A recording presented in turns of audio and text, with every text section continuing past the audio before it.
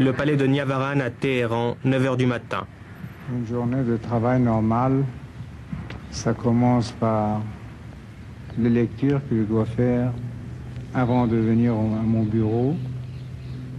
Ce sont des rapports intérieurs, extérieurs, un peu de la presse internationale. Et dans mon bureau, je reçois les dignitaires du pays et euh, quelquefois des personnalités qui viennent de l'étranger. Au déjeuner, euh, c'est toujours un déjeuner avec l'impératrice. Nous avons le temps de le faire. Euh, l'après-midi, quelquefois je vais visiter certains endroits ou bien des programmes comme le matin.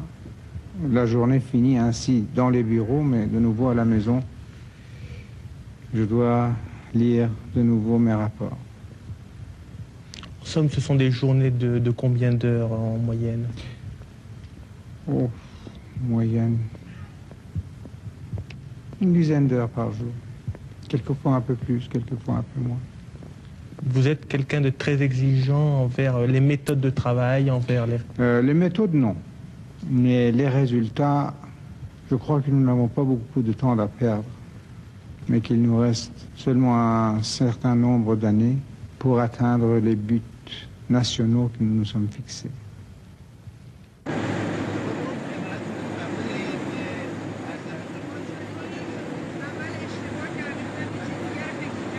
« 9h du matin. Dans l'avion impérial, la Shah Farah est en route pour une tournée en province. Avec elle, un invité personnel, Nelson Rockefeller, le milliardaire et ex-vice-président américain.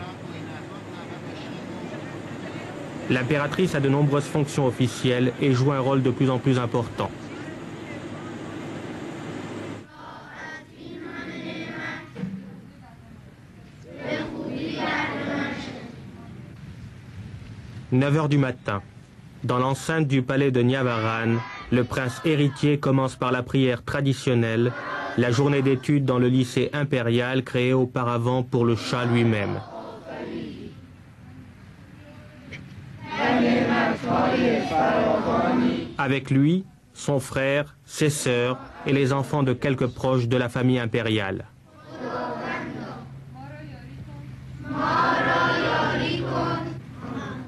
On dit que vous avez plus de pouvoir dans votre pays que par exemple le président Carter aux États-Unis ou M. Brezhnev en Union soviétique.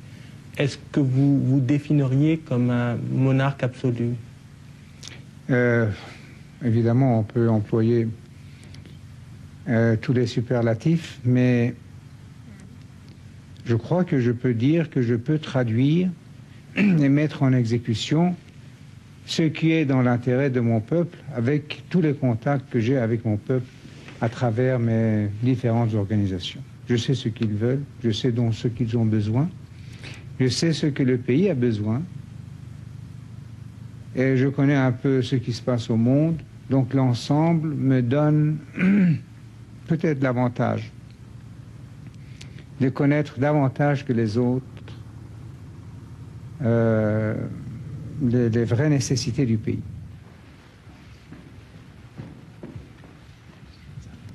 Audience avec le chat pour le Premier ministre Jamshid Amouzegar.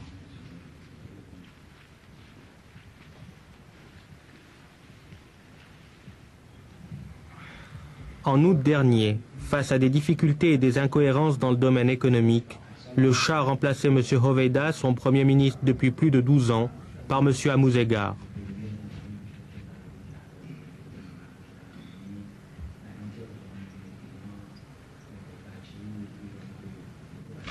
En fait, le Premier ministre a surtout pour fonction de traduire dans la réalité quotidienne les orientations et la politique que le Shah est seul à déterminer.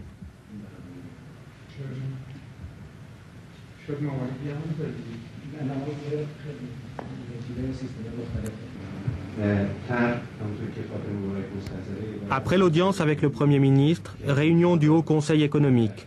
C'est là que les choix décisifs sont opérés pour le développement du pays.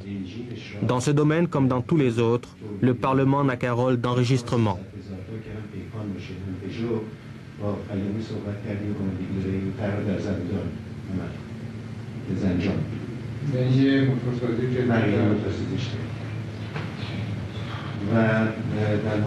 C'est ainsi qu'avec le pragmatisme qui est sa règle, le chat a décidé de réorienter toute la politique économique du pays. Il a remplacé les plans quinquennaux qui rythmaient le développement iranien par une planification plus souple, permettant de tenir compte des difficultés apparues ici ou là. Il y a 2-3 ans, au moment du boom pétrolier, vous affichiez très fort l'espoir que l'Iran serait un des cinq ou six grands de ce monde à la fin de ce siècle. Maintenant que vous avez certaines difficultés financières, est-ce que vous pensez que cela met en péril votre projet? Euh, difficultés financières, non. Euh, sauf euh, l'inflation constante que nous subissons de la part de- des pays de l'Ouest. C'est le manque d'hommes. Mais ce manque d'hommes, c'est, je crois, euh, momentané, puisque actuellement 50% de notre po- population est au-dessous de 15 ans. Donc aujourd'hui, ce sont des bouches qui mangent et peu de bras qui travaillent. Mais dans déjà trois ans, on va commencer à sentir euh, notre marché être envahi par ces centaines de milliers de, euh, de nouvelles gens qui demanderont du travail. Et je crois bien que nous allons quand même atteindre notre but, être parmi les cinq plus grands non atomiques. Non atomiques, parce qu'il n'y a pas de comparaison à faire avec les puissances atomiques. Et d'ailleurs, n'est-ce pas, euh, notre population d'ici 20-25 ans sera en- d'environ 60 millions, 65 millions d'habitants.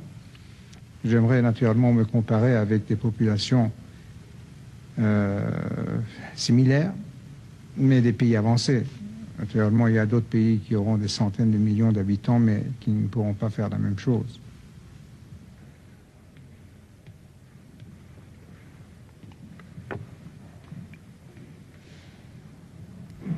Être l'un des grands de la planète.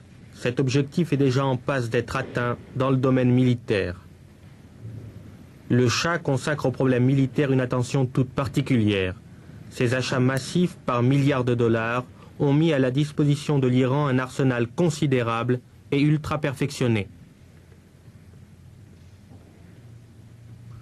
Le Shah reçoit ses chefs d'état-major deux ou trois fois par semaine et examine avec eux en détail les problèmes de l'armée. L'armée qui reçoit la part la plus importante du budget et reste un pilier du régime. Vous-même, on dit qu'en Iran, vous décidez de tout. Est-ce que cela vous semble correspondre à la réalité? Euh, pour les questions militaires, sûrement. Euh, je suis militaire de profession, de carrière. Mais pour les autres choses, non, pas tellement quand même. Mais pour les questions importantes, peut-être un peu d'expérience qui m'aide. Comme vous avez remarqué depuis 36 ans, euh, quand même dans les cellules de la mémoire, il y a quelque chose qui reste.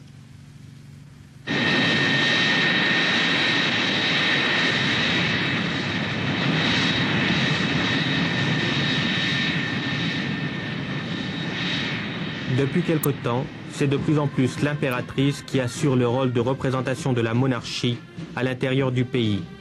Et ses déplacements dans les différentes provinces sont désormais habituels.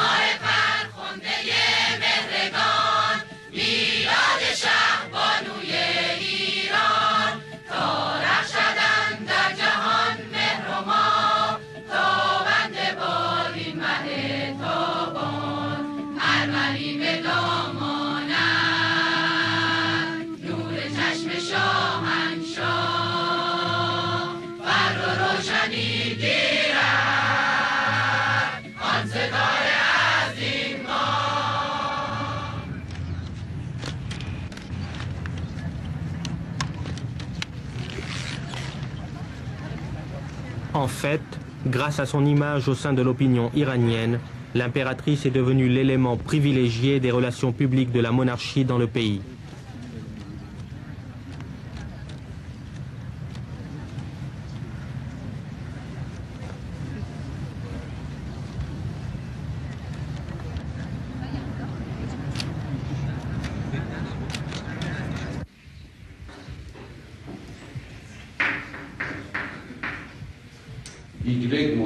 C'est la naissance du prince héritier en 1960 qui a consolidé la position de la Shahbanou. Elle a aussi supprimé l'inconnu qui pesait jusqu'alors sur l'avenir de la dynastie et a marqué un tournant dans l'action du Shah.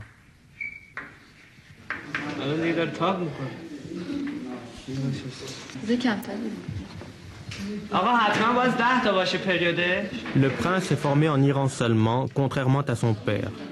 Marqué par la rigidité de l'éducation qu'il avait reçue, le chat a voulu que celle de ses enfants soit la plus libre possible. Dans quelques mois cependant, le prince entrera dans une école d'officiers ayant atteint l'âge requis.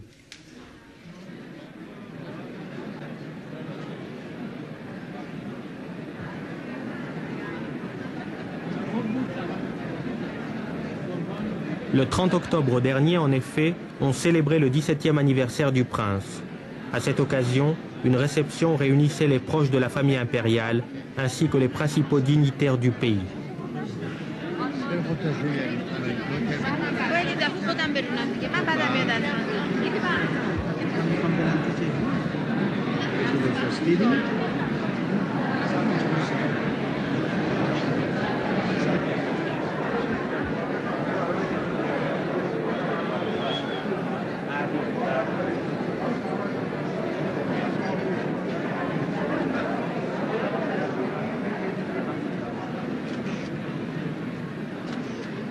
En fait, il y avait là toute l'élite de la classe dirigeante iranienne, traditionnellement si turbulente, et que le Shah a réussi à maîtriser pour la mettre au service de ses objectifs et de sa politique.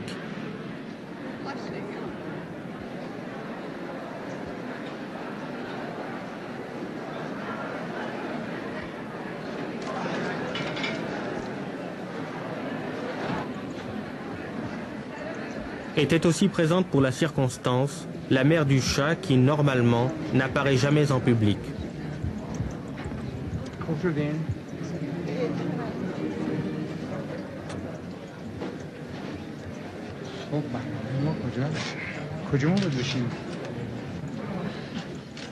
Ce soir-là étaient réunies les trois générations de la dynastie des Pahlavis.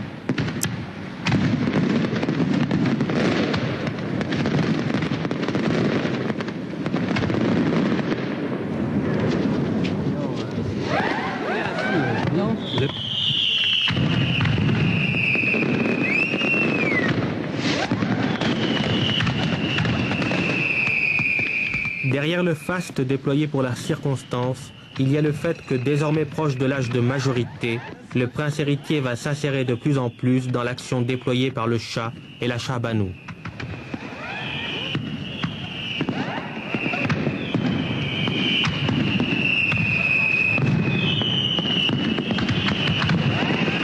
Et cela en attendant l'heure d'assumer à son tour un pouvoir que le Shah considère comme incrusté dans la tradition millénaire de l'Iran.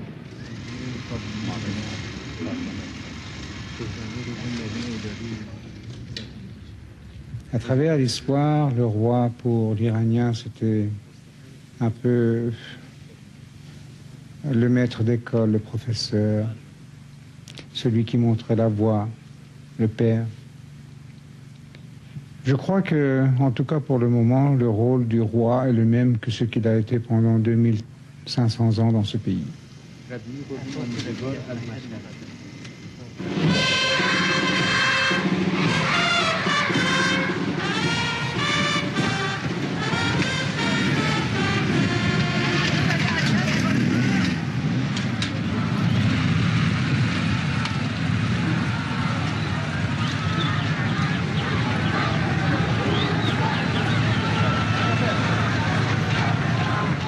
Le Shah considère son rôle comme inchangé par rapport à celui de ses prédécesseurs, jamais en revanche une Shah Banu n'aura eu autant de pouvoir et d'influence que l'impératrice Farah.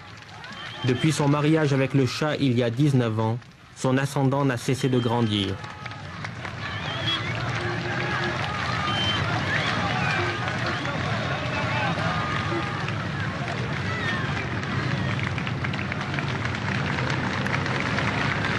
Les voyages que je fais à l'intérieur du pays, c'est surtout pour moi une possibilité d'avoir davantage de contact avec euh, notre peuple euh, dans leur environnement géographique, social et, traditionnel. De connaître moi-même mieux mon pays, parce que le problème d'un côté peut être différent de l'autre côté du pays, d'avoir une connaissance plus approfondie des, des problèmes et des possibilités du pays. Et ensuite, euh, quand je vais euh, à ces voyages, euh, les, gens sont contents de me voir. Et si on peut faire plaisir de cette façon-là, c'est déjà beaucoup. Et aussi beaucoup de problèmes que les, les officiels de ces régions les gens m'en parle et j'essaie de faire quelque chose à ce sujet et de visiter les choses qui ont été faites, les problèmes à résoudre et aussi en même temps d'en- d'encourager ceux qui ont travaillé dans des domaines différents.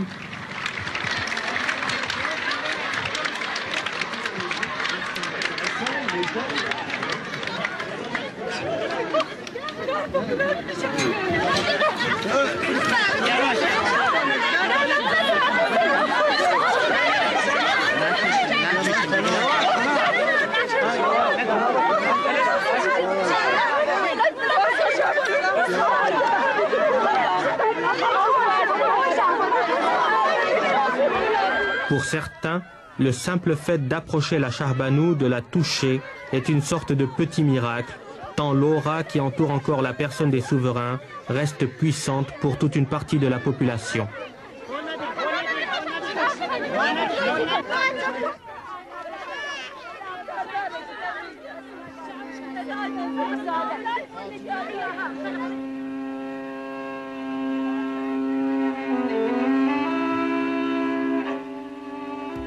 Mais il y a aussi tous ceux pour qui l'impératrice a fini par représenter un dernier recours dans un pays où la pauvreté reste grande et où le poids de la bureaucratie offre parfois un barrage infranchissable pour les démunis.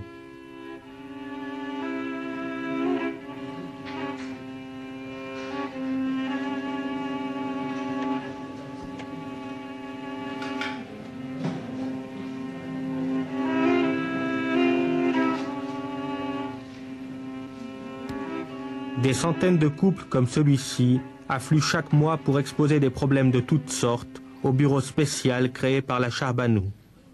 On vient avec l'espoir qu'ici au moins, quelque chose sera tenté, que le mur de la bureaucratie pourra être contourné.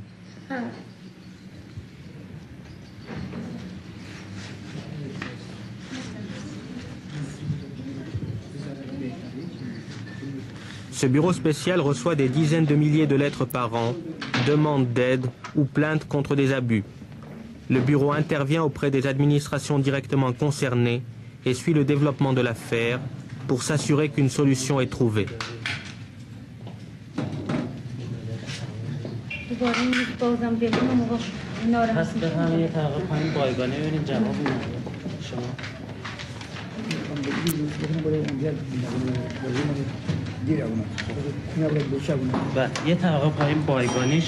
Pour une partie de la population dont la pauvreté reste grande, pour ceux qui demeurent sans défense contre le pouvoir de l'administration, ce bureau spécial est certes d'une utilité certaine. Dans quelle mesure cependant peut-il être mieux qu'un pis-aller, vu le manque de structures gouvernementales adéquates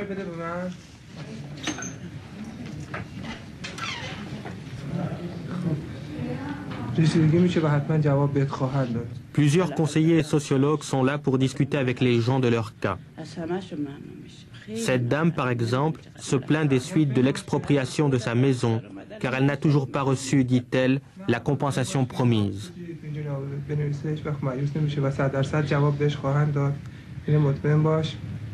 اینجا بنویسه هیچ وقت مایوس نمیشه و صد درصد جواب بهش خواهند داد اینو مطمئن باش الان زیبستونه بچه ها ما میرم مدرسه بریدم بیرون کجا بریم ناراحت نباش مادر روز دوشنبه شما بیا صحبت بکن جواب بهت خواهند داد. روز دوشنبه چشمی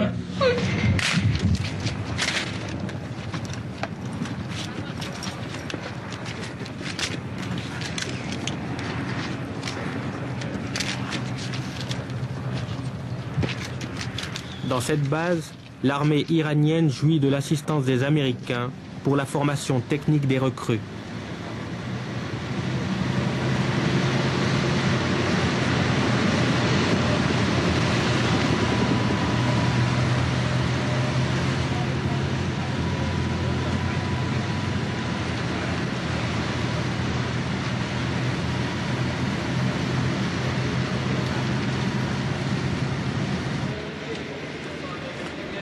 S'il arrive à la Shah Banou de visiter une base militaire, c'est moins pour passer en revue les équipements et le matériel ultramoderne que pour s'intéresser à l'effort de formation technique fait pour les recrues et rendu indispensable par la sophistication à outrance de l'armée iranienne.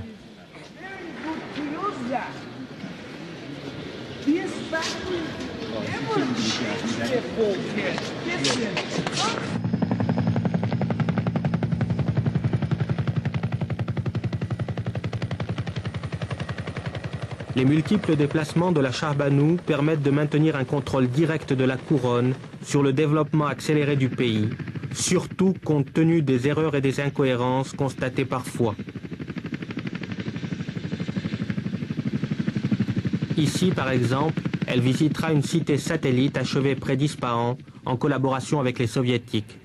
Il faut dire une chose, mes voyages en province, euh, euh, bien sûr, quand on sait que je vais voyager, on se met à travailler un peu plus vite, à arranger les choses, à ne pas faire traîner les problèmes. Déjà, avant que je n'arrive, il y a beaucoup de choses qui se font.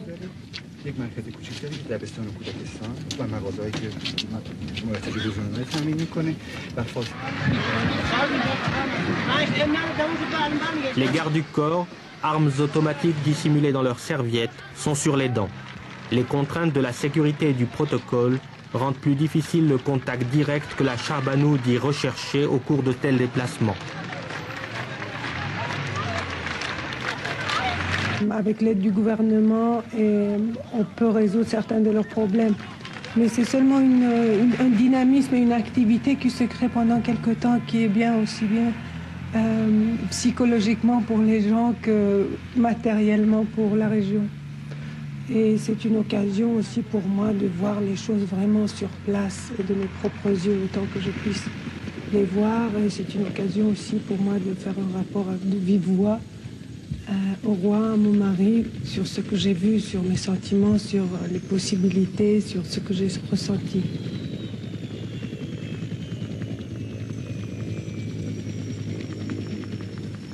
On vous accuse parfois d'imposer à l'Iran un développement trop rapide. Est-ce que les goulots d'étranglement que l'on peut voir ici et là ne semblent pas donner raison à ces critiques? C'est possible. C'est très possible. Mais je crois qu'il vaut mieux quand même d'avoir des goulots d'étranglement et quelquefois des surprises de, euh, ce genre que de contraire. Que d'être paresseux, d'avoir une carence dans les choses. Mais c'est certain. Mais c'est curieux que dans la plupart des cas, nous avons toujours eu l'excuse que nous avons été laissés tomber par nos amis occidentaux, par la technique occidentale.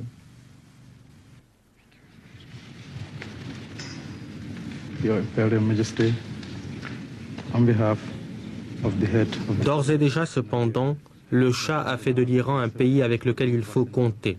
À son anniversaire, les représentants de près de 80 nations étaient là pour lui présenter leurs vœux. sincere congratulations to extend Upon to Imperial Majesty, God's blessings, good health, and many happy returns of your birthday. Thank you very much. The President of the Federal Republic of Germany, my government and its ambassador, extends their best wishes to Your Imperial Majesty. At the same time, they would like to thank you, government of Iran, for the assistance rendered in understanding and fighting terror. You prosperity to Iran Merci, and the new five-year plan a great success. Si l'heureux événement de l'anniversaire de votre Majesté impériale me donne la possibilité de vous souhaiter beaucoup de bonheur au nom du Conseil fédéral et vous féliciter très chaleureusement. government and people of Somalia. for health and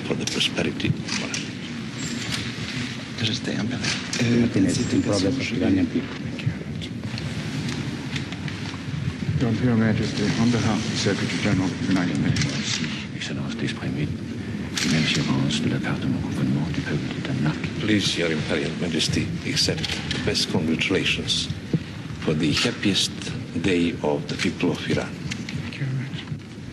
Aujourd'hui, l'influence de l'Iran déborde déjà au-delà de la zone clé du golfe Persique. Elle se fait sentir de plus en plus aussi bien dans le sous-continent indien qu'au Moyen-Orient.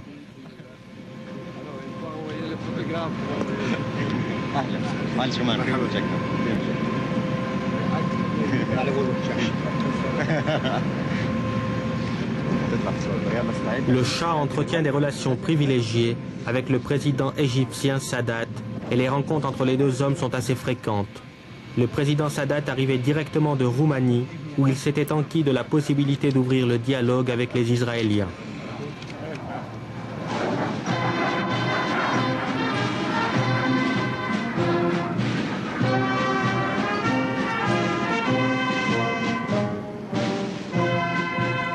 Aux yeux du président Sadat, l'Iran n'est pas seulement un bailleur de fonds important pour de nombreux projets en Égypte.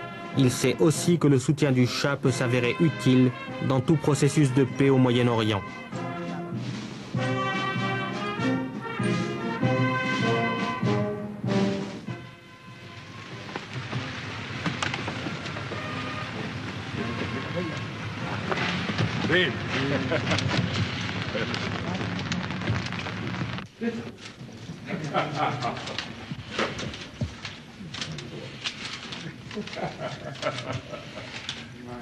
Le président Sadat était à Téhéran en tant qu'invité personnel du Shah, et seuls les membres les plus proches de la famille impériale ont été conviés au dîner intime au palais de Niavaran.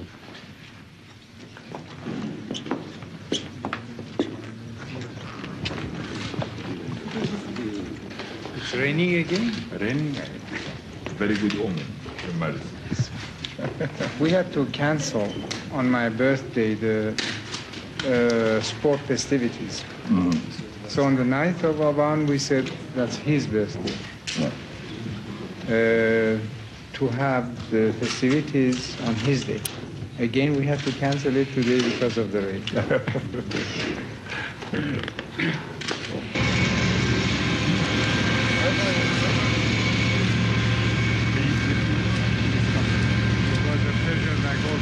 Les entretiens entre les deux chefs d'État resteront confidentiels. En fait, entre le Shah et le président Sadat, il n'y a pas seulement une convergence profonde d'intérêts face à des ennemis communs. Une certaine affinité de caractère existe aussi entre eux.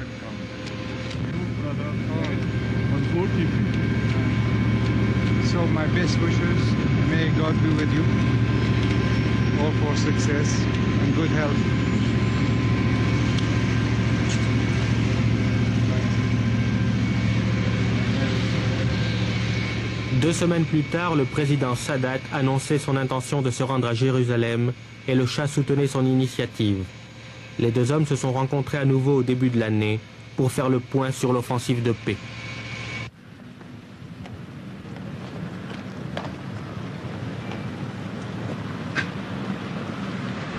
Pour les États-Unis, l'Iran est désormais un partenaire de premier plan.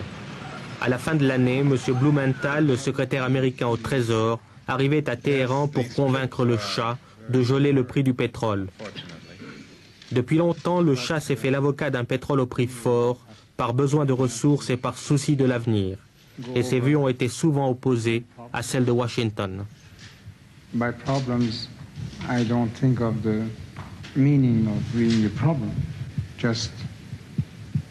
Questions that should be discussed between uh, our two countries. But we could not avoid to evoke other problems, the world problems. Yes. Yes, I, I hope that we can, and we've begun this morning and had a very good exchange of views, not just on bilateral issues, but really putting them into a world context. Uh, and that'll take all the time we have available. Lorsque le pétrole sera fini, vous serez mort. Et comment allez-vous être encouragé pour trouver d'autres sources d'énergie C'est que le prix soit compétitif avec le prix du pétrole? Et c'est la politique que vous entendez maintenir?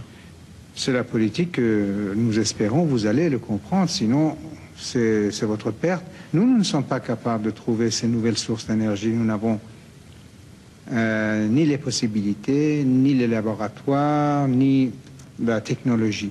Mais vous, euh, l'Occident, vous l'êtes. Et si vous ne le faites pas, nous sommes alors tous perdus. En somme, vous entendez forcer l'Occident à se sauver malgré lui euh, si, si on peut le dire, si on peut oser le dire, c'est un peu vrai, oui. Vous avez dit plusieurs fois sous une forme ou sous une autre que vous n'entendiez pas commettre les mêmes, heures, les mêmes erreurs que l'Europe occidentale. À vos yeux, quelles sont ces erreurs? Euh... oh. Évidemment, on peut répéter les mêmes, euh, euh, les mêmes phrases, la société permissive, le manque de discipline, euh, la carence, le peu de travail, mais continuer le néocolonialisme sous une nouvelle forme. On peut dire toutes ces choses-là. Mais en faisant un résumé, c'est que vous dépensez ou vous recevez en, en solde plus que vous ne produisez. Évidemment, je ne parle pas de la Suisse, c'est un cas tout à fait particulier à cause de vos banques. Mais est-ce que cela peut continuer? Et pour que cela continue, il faut que vous exploitiez les autres peuples en leur vendant vos produits plus chers, en créant une inflation même si c'est nécessaire, une, inflation fabriquée. Mais pendant combien d'années pouvez-vous continuer cela? En vous rendre, en vous gonflant d'une façon artificielle et en anéantissant le, disons, le tiers-monde. C'est impossible de continuer. Pourtant, le sort de l'Iran est lié indéfectiblement à l'Occident. Oui, oui c'est au fond en tant que membre de la même société, du même monde, que je prononce ces paroles, non avec plaisir. Et pour vous, tout affaiblissement de l'Occident mettrait en danger ce que vous construisez ici euh, Malheureusement, c'est le cas. Et aussi, l'affaiblissement de mon pays aura une telle répercussion sur cette région du monde qui vous fournit l'énergie que vous aussi, votre avenir dépend de nous plus avoir la main aussi lourde que par le passé. ça dépend ce qu'on appelle la main lourde. Pour nous, c'était une question de trahison. Quelquefois, peut-être excès de zèle, naturellement. Ça se passe partout. Alors, oui, je devrais presque admettre que peut-être qu'il y a eu la main lourde. Mais Évidemment, on souhaiterait qu'il n'y ait même pas un seul exemple de main lourde. Devant les intérêts de l'État que peut-on faire?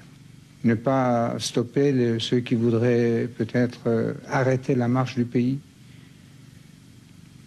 Je ne crois pas que, avec le sentiment de la moindre responsabilité, on pourrait se permettre une chose pareille.